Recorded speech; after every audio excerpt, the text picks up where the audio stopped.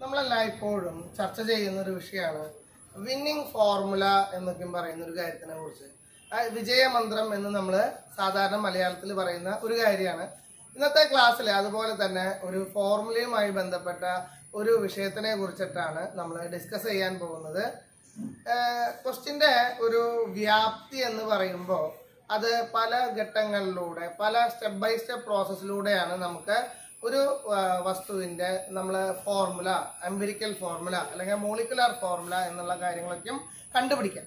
അപ്പൊ തീർച്ചയായിട്ടും ആ ഒരു സ്റ്റെപ്പ് ബൈ സ്റ്റെപ്പ് പ്രോസസ് അല്ലെങ്കിൽ പ്രൊസീജിയർ നമുക്ക് അറിഞ്ഞാൽ മാത്രമാണ് വളരെ മനോഹരമായിട്ട് നമുക്ക് ആ ഒരു എംപിരിക്കൽ ഫോർമുല മാസ് അല്ലെങ്കിൽ മോളിക്കുലാർ ഫോർമുല എന്ന് പറയുന്നത് നമുക്ക് അറൈവ് ചെയ്യാൻ പറ്റുക. നമുക്കറിയാം പലപ്പോഴും നമ്മൾ ഇപ്പൊ യൂട്യൂബ് ആയിട്ടുള്ള വ്ളോഗേഴ്സ് ആയിട്ടുള്ള ആൾക്കാർ പല സ്ഥലങ്ങളിൽ പോയിട്ട് അവർ ഒരു കിച്ചൺ സെറ്റ് ചെയ്യും. അത് കഴിഞ്ഞിട്ട് അവരെന്ത് ചെയ്യും? ഒരു പാചക വിധി അവർ റെഡിയാക്കും അല്ലെ?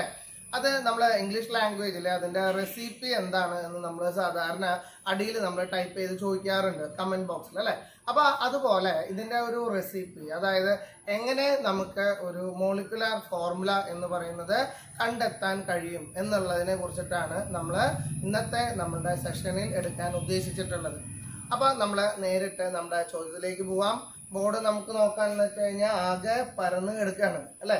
അപ്പൊ അതിന്റെ വ്യാപ്തി നമുക്ക് അറിയാൻ പറ്റും. തീർച്ചയായിട്ടും നമ്മൾ ഇതിലേക്ക് കടക്കാൻ പോവാണ്. ചോദ്യം ഇതാണ്. ഒരു കോമ്പൗണ്ട് ഉണ്ട്.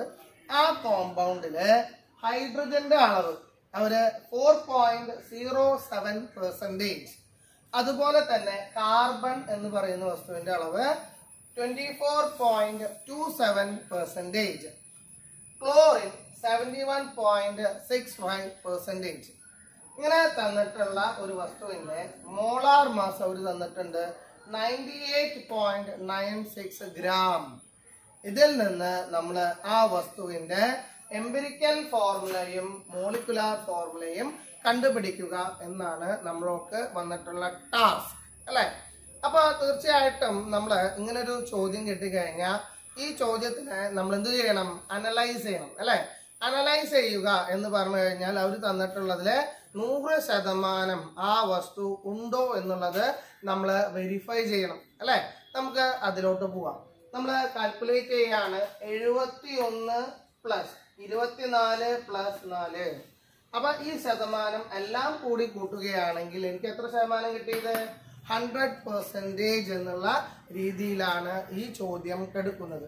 അപ്പൊ ഹൺഡ്രഡ് പെർസെന്റേജ് എന്ന് പറയുന്ന ഒരു ക്വാണ്ടിറ്റി അല്ലെങ്കിൽ അളവ് എന്ന് പറയുന്നത് എന്താണ്? ഇവിടെ നമുക്ക് തന്നിട്ടുണ്ട്. അപ്പൊ അത് കാരണം കൊണ്ട് ഇവിടെ വേറെ ഒരു എലമെന്റ് എന്ന് പറയുന്ന ഹിഡൻ എലമെന്റ് ഇല്ല.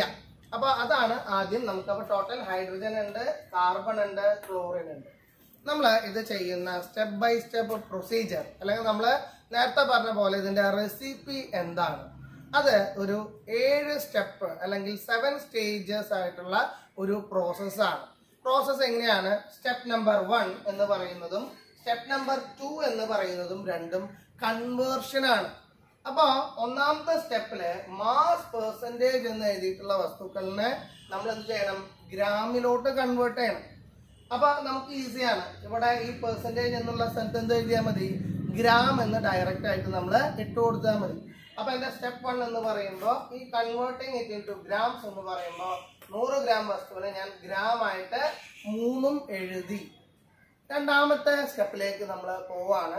സെക്കൻഡ് സ്റ്റെപ്പ് എന്ന് വെച്ച് കഴിഞ്ഞാൽ അതും കൺവേർഷൻ ആണ്. എന്താണ് conversion convert into number of moles of each element ഓരോ വസ്തുവിനെയും അതിന്റെ നമ്പർ ഓഫ് മോൾസിലേക്ക് ഞാൻ കൺവേർട്ട് ചെയ്യാണ്. അപ്പം ഞാൻ എന്ത് ചെയ്യണം എന്ന് വെച്ച് കഴിഞ്ഞാൽ അതിനെ എന്ത് ചെയ്യണം? അതിന്റെ മോളാർ മാസ് വെച്ച് നമ്മൾ ഡിവൈഡ് ചെയ്യണം അല്ലേ? അപ്പൊ ഫോർ ഡിവൈഡഡ് ബൈ ഹൈഡ്രജന്റെ എന്താ വാല്യൂ വൺ ആണ്. കാർബണിന്റെ twenty four divided by twelve and chlorine seventy അപ്പൊ നമുക്ക് എന്ത് കിട്ടിയെന്ന് വെച്ച് കഴിഞ്ഞാൽ സ്മോൾ വോൾ നമ്പേഴ്സ് കിട്ടാണ് അപ്പോൾ അതിന്റെ റേഷ്യോ നമ്മൾ നോക്കുകയാണെങ്കിൽ four divided by two divided by two എന്നുള്ള രീതിയിൽ നമുക്ക് അതിന്റെ റേഷ്യോ കിട്ടണം കോമൺ ടേം നമുക്ക് അറിയാം ടു ആണ്. അപ്പോൾ അത് തമ്മിലുള്ള റേഷ്യോ നമുക്ക് സ്റ്റെപ്പ് ത്രീ അതാണ് പറയുന്നത്. Divide the mole value by smallest number അല്ലേ? അപ്പോൾ സ്റ്റെപ്പ് ത്രീയിൽ ആ ഡിവിഷൻ ഞാൻ ചെയ്ത് കഴിഞ്ഞപ്പോ ഹൈഡ്രജൻ കാർബൺ ക്ലോറിൻ എന്നുള്ള ratio two is two one is two one എന്നുള്ള വളരെ സ്മോൾ ബോൾ നമ്പർ ആയിട്ടുള്ള ഒരു റേഷ്യോ എനിക്ക് ലഭ്യമായി. അപ്പൊ അങ്ങനെ നമ്മൾ ഒരു ഗിവൺ ക്വസ്റ്റ്യനെ നമ്മൾ റേഷ്യോ ഫോർമാറ്റിലേക്ക് നമ്മൾ സ്റ്റെപ്പ് ത്രീ എന്ന് പറയുന്നത് കഴിയുമ്പോഴേക്കും നമ്മൾ കൺവേർഷൻ നടത്തും. സ്റ്റെപ്പ് ഫോർ എന്ന് പറയുന്നത് അതിന്റെ എംപെരിക്കൽ ഫോർമുല എന്നുള്ളത് എഴുതുക എന്നുള്ളതാണ്. അപ്പൊ ഈ സ്മോൾ വോൾ നമ്പർ എടുത്ത് എഴുതുന്ന പ്രക്രിയയാണ് നമ്മുടെ എംപിരിക്കൽ ഫോർമുല എഴുതുക എന്ന് പറയുന്നത്. അപ്പൊ നമ്മൾ കാർബണും ഹൈഡ്രജനും ക്ലോറിനും ആ വാല്യൂസ് നമ്മളിവിടെ അസൈൻ ചെയ്യാണ്. അപ്പൊ എന്തുണ്ടായി? ആ two is two one is one എന്നുള്ള റേഷ്യോ ഇവിടെ C H two C L എന്ന് എനിക്ക് എഴുതാൻ പറ്റി. കണ്ടോ? അപ്പൊ എപ്പോഴും നമ്മൾ എഴുതുമ്പോൾ ശ്രദ്ധിക്കേണ്ട കാര്യം ആണ് എന്ത്? കാർബൺ എന്ന് പറയുന്നത് ആദ്യം എഴുതാം. അപ്പൊ കാർബൺ ആദ്യം എഴുതിയില്ലെങ്കിൽ കുഴപ്പമുണ്ടോ എന്ന് ചോദിച്ചു കഴിഞ്ഞാൽ ഒരു കുഴപ്പമില്ല പക്ഷെ സ്റ്റാൻഡേർഡൈസേഷൻ എന്ന് പറയുന്നതാണ് കാർബൺ ആദ്യം എഴുതുക എന്ന് പറയുന്നത്. അപ്പൊ നമ്മൾ അതിനെ എന്ത് ചെയ്തു? ഇവിടെ എച്ച് സി സി എൽ എന്നുള്ളതാണ് two is two one is two one എന്നുള്ള റേഷ്യോ എങ്കിൽ സി എച്ച് സി എൽ എന്ന് ഞാൻ എഴുതുമ്പോൾ എന്തായി? വൺ ടു വൺ എന്നുള്ള പോലെ അത് മാറ്റി എഴുതണം. അല്ലെ? ചിലപ്പോ ഈ ഒരു ഭാഗത്ത് നിന്ന് ഡയറക്റ്റ് ഇങ്ങനെ എഴുതുമ്പോൾ എന്തുണ്ടാവും? കുട്ടികൾ ഇതേ വാല്യൂ ടു വൺ വൺ എന്നിവിടെ എഴുതും. അപ്പൊ എന്തായി? C two H C L എന്ന് പറഞ്ഞിട്ട് തെറ്റി എഴുതാനുള്ള സാധ്യത ഇവിടെ ഉണ്ട്. ഇനി നമ്മൾ നോക്കാൻ പോകുന്നത് എന്താണ്? അടുത്ത സ്റ്റെപ്പാണ് സ്റ്റെപ്പ് നമ്പർ ഫൈവ് ആണ്. സ്റ്റെപ്പ് നമ്പർ ഫൈവ് പറയുന്നത് എന്താണ്? മോളിക്കുലർ ഫോർമുല എഴുതാൻ വേണ്ടിയിട്ട് നമ്മൾ എന്ത് ചെയ്യണം എന്നുള്ള കാര്യമാണ് അല്ലെ? അപ്പൊ നമ്മൾ അതിന് വേണ്ടിയിട്ടുള്ള ഒരു ഒരു മെത്തേഡ് ഉണ്ട്. നമുക്ക് കാണാം. എന്താണ്? സ്റ്റെപ്പ് ഫൈവ് എന്ന് വെച്ച് കഴിഞ്ഞാൽ ആ മോളിക്കുലർ ഫോർമുല കണ്ടുപിടിക്കാൻ വേണ്ടിയിട്ട് നമ്മൾ ഇതിന്റെ ടോട്ടൽ മാസ് നമ്മൾ കണ്ടുപിടിക്കുകയാണ് അല്ലെ? അപ്പൊ എന്തുണ്ടായി കാർബൺ പന്ത്രണ്ട് hydrogen one into two two പിന്നെന്താണ് വരുന്നത്? Chlorine thirty five point five അപ്പൊ നമുക്ക് അതിന്റെ എന്ത് കിട്ടി? എംപിരിക്കൽ ഫോർമുല മാസ് കിട്ടാൻ forty nine point four eight gram എന്ന് നമുക്ക് കിട്ടാണ്. ഇനി നമ്മൾ അടുത്ത സ്റ്റെപ്പ് എന്ന് പറയുന്നത് ആറാമത്തെ സ്റ്റെപ്പിലേക്ക് പോവാണ്.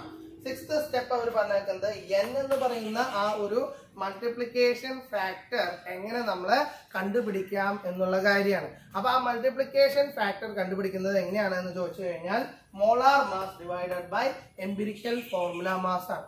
എന്താണ് N is equal to molar mass divided by empirical formula mass ആണ്. അപ്പൊ എന്തുണ്ടായി? അവർ അത് ഡിവൈഡ് ചെയ്യാണ്. നമുക്ക് കിട്ടി മോളാർ മാസ് എന്ന് പറയുന്നത് നയന്റി എയ്റ്റും എംപിരിക്കൽ ഫോർമുല മാസ് എന്താണ്? ഫോർട്ടി നയൻ ചോദ്യത്തിൽ അവർ പറഞ്ഞിട്ടുണ്ടായിരുന്നു ശ്രദ്ധിച്ചിട്ടുണ്ടായിരുന്നു എന്ന് എനിക്കറിയില്ല. ക്വസ്റ്റ്യൻ ഞാൻ ഒരു പ്രാവശ്യം കൂടി വരാണ്. ഇവിടെ molar mass is equal to ninety eight point nine six gram എന്ന് തന്നിട്ടുണ്ട്. അല്ലെ? ആ ninety eight point nine six ഗ്രാമിനെയാണ് നമ്മൾ എന്ത് ചെയ്യേണ്ടത്? ഇപ്പൊ കിട്ടിയിട്ടുള്ള ഫോർട്ടി നയൻ വെച്ച് ഡിവൈഡ് ചെയ്തത്. അപ്പൊ ആ പോയിന്റുകൾ ഞാൻ ഇറിലവന്റ് ആയ കാരണം കളയാണ്. അതായത് forty nine point four eight എന്ന് എടുക്കുന്നുണ്ട് അല്ലേ? അതുപോലെ ഇവിടെ എന്താണ് ninety eight point nine six എടുക്കുന്നുണ്ട്. ഞാൻ എന്ത് ചെയ്യണു? അതിനൊക്കെ നമ്മൾ നമ്മളെ ട്രങ്കേഷൻ മെത്തേഡ് വഴി എന്ത് ചെയ്തു? Ninety eight divided by forty nine എന്ന് പറഞ്ഞു കഴിഞ്ഞപ്പോൾ എനിക്ക് എന്ത് കിട്ടി I have got a magic number N and the value is two അപ്പൊ ആ ടൂവിനെ നമ്മൾ എന്ത് ചെയ്യണം? എംപിരിക്കൽ ഫോർമുല മാസ് കിട്ടിയിട്ടുള്ള വാല്യൂ വെച്ച് നമ്മൾ ഗുണിക്കാണ് മൾട്ടിപ്ലൈ ചെയ്യാണ് അല്ലെ? അപ്പൊ എന്തുണ്ടായി സ്റ്റെപ്പ് സെവൻ എന്ന് പറയുന്നത് എന്താണ്? മോളിക്കുലർ ഫോർമുല കിട്ടാൻ വേണ്ടി എൻ ഇന്റു എംപിരിക്കൽ ഫോർമുലയുടെ ആ വാല്യൂ എന്താണോ നമുക്ക് കിട്ടിയിട്ടുള്ളതെന്ന് വെച്ച് കഴിഞ്ഞാൽ അത് വെച്ച് മൾട്ടിപ്ലൈ ചെയ്യാണ്. അല്ലേ? അപ്പൊ എന്തുണ്ടായി? ടു ഇന്റു നമുക്ക് കിട്ടിയിട്ടുള്ള എംപിരിക്കൽ ഫോർമുല എന്തായിരുന്നു? ഇവിടെ നമുക്ക് ഓർമ്മയുണ്ടാവും C H two C L അല്ലെ? ആ C H two C L എന്നുള്ളത് നമ്മൾ ഇവിടെ എഴുതി മൾട്ടിപ്ലൈ ചെയ്തപ്പോൾ നമുക്ക് എന്ത് കിട്ടി? You the result C two H four and C L two and this is nothing but my molecular formula അപ്പൊ അങ്ങനെയാണ് നമ്മൾ മോളിക്കുലർ ഫോർമുല കാണുക എന്ന് പറയുന്നത്. അപ്പൊ ശ്രദ്ധിക്കേണ്ട കാര്യം എന്താണ്? ഇവിടെ ഒരു സ്റ്റെപ്പ് ബൈ സ്റ്റെപ്പ് ആയിട്ടുള്ള പ്രൊസീജിയർ ഉണ്ട്. ആ സ്റ്റെപ്പ് ബൈ സ്റ്റെപ്പ് ആയിട്ടുള്ള പ്രൊസീജിയർ ഏഴ് സ്റ്റെപ്പ് ഉണ്ട്. അപ്പൊ ആ ഏഴ് സ്റ്റെപ്പും കൃത്യമായിട്ട് ചെയ്യുമ്പോഴാണ് നമുക്ക് ഭംഗിയായിട്ട് നമുക്ക് നമ്മളുടെ മോളിക്കുലർ ഫോർമുല എന്ന് പറയുന്നതിലേക്ക് നമുക്ക് എത്തിച്ചേരാൻ പറ്റുക. ക്ലിയർ ആയി?